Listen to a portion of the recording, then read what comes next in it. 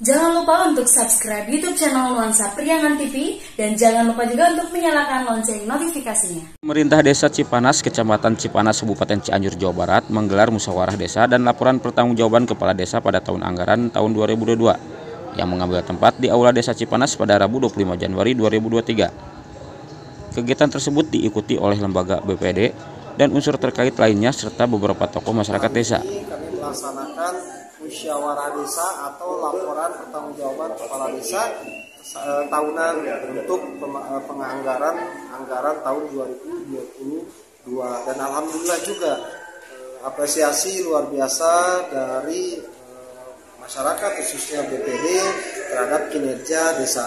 Namun penilaian ini bukan merupakan akhir pemerintah desa. Kami saat ini merasakan masih kurang memberikan pelayanan kepada masyarakat. Oleh karena itu kami mohon dukungannya terhadap masyarakat supaya kami bisa memaksimalkan pelayanan yang maksimal. Kita sama-sama membangun desa Cipanas ke arah yang lebih baik lagi.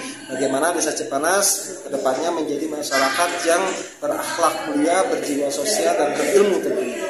Dan kami lanjutkan acara tersebut ke acara Musrembang Des. Alhamdulillah kami ketuk palu satu ajuan yang akan kami ajukan ke Pak Bupati yaitu sarana gedung sarana ser, ser, ser, gedung serbaguna eh, yang ada di Desa Cipanas yang saat ini kondisinya sudah apa sudah mengkhawatirkan. Mudah-mudahan di 2024 ini Pak Bupati mengaksesi eh, untuk bisa membangun Gunung Sembaguna Desa Cipanas. Temuan kami dari beberapa sumber Pak terhadap kepala desa ini tiap malam katanya suka. Tolong jelaskan maksudnya apa Pak? ya itulah eh, ketika ada masyarakat ya walaupun jam kerja kita jam 8 sampai jam setengah 4 tapi terkadang masyarakat juga ada yang membutuhkan pelayanan kami sampai maupun di malam hari dan lain sebagainya. Intinya kepala desa atau perangkat desa pekerjaannya 24 jam non-stop. Pak satu lagi Pak terkait eh, revitalisasi uh, Cipanas Pak seperti apa Pak pemerintahan desa Cipanas Pak? Nah saat ini ya. program pembangunan revitalisasi yang ada di desa Cipanas pertokoan uh, yang di seberang uh, atau yang di samping pasar Cipanas ini sedang melaksanakan pembangunan. Namun karena kemarin dampak gempa ini uh, lumayan luar biasa sehingga pembangunan uh, dihentikan dulu.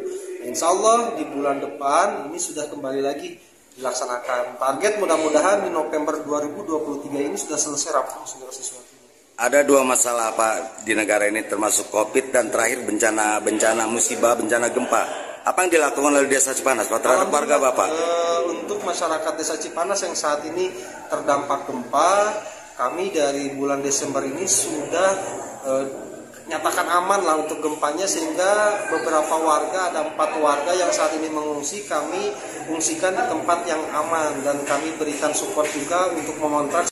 Cipanas yang saat ini melaksanakan kegiatan uh, musyawarah desa LKPPD uh, Desa Cipanas di tahun anggaran 2020 2022 dan hari ini sudah sedang berlangsung Tadi kita sudah dengar laporan kegiatan yang disampaikan oleh Bapak Desa dan saat ini kami baru saja briefing untuk menyampaikan hasil tanggapan kami. Sehingga tidak saja serta merta apa yang disampaikan Bapak Kades tadi sudah diterima dengan baik saja oleh kami tidak. Tapi harus kami harus berproses. Sembilan orang anggota BPD ini barusan bermusyawarah apa saja yang harus kita tanggapi perihal dengan laporan yang disampaikan oleh Pak Kades dari beberapa kegiatan memang desa Cipanas ini selalu didampingi oleh BPD pada saat pelaksanaan kegiatannya baik termasuk dengan kegiatan sosial eh, dan juga kegiatan kebencanaan sudah bukan barang aneh lagi bila kepala desa dan BPD selalu terjun pada saat kebencanaan ataupun kegiatan-kegiatan lain. Dan secara kasat mata kami dapat melihat positif apa yang disampaikan oleh eh, Pak Kades pada saat kegiatan. Namun apa yang dilaporkan ini perlu kami kaji kembali dan hari ini e, barusan kita sudah e, mengkaji apa saja yang hasil tanggapan dari kami. Dan perlu kami sampaikan kami akan melanjutkan besok dengan beberapa kegiatan perihal dengan Eh, keperluan dari LKPPD ini. Di antaranya adalah monitoring dengan kegiatan yang sudah dilaksanakan dan juga evaluasi bagi perangkat dan juga evaluasi lembaga. Sehingga nanti secara utuh kami akan eh, menyusulkannya hasil penilaian dan tanggapan dari BPD Cipanas. Jadi hari ini tanggapan sementara dari laporan yang sudah ada saja yang sudah yang akan kami laksanakan. Kegiatan, ya oke Pak, kegiatan terbesar dari BPD sendiri apa Pak terhadap pemerintahan desa Cipenda menyangkut pembangunan Pak? Mohon, Salah satunya Pak. mohon maaf ini adalah eh, Desa Cipanas ya, Eh, saya eh. kami ulangi lagi. Ya. Ini Desa Cipanas. Eh, kegiatan terbesar yang sedang dilakukan adalah di antaranya ada eh, revitalisasi yang sampai saat ini itu adalah mega proyek yang sampai saat ini belum eh, dapat terwujud dengan 100% tapi kami akan selalu mengawal eh, Pemdes Desa Cipanas untuk menyelesaikan eh, program revitalisasi ini. Dari Cianjur, Jawa Barat, Tubagus Rahmat, Nuasa Priangan hadir untuk Anda.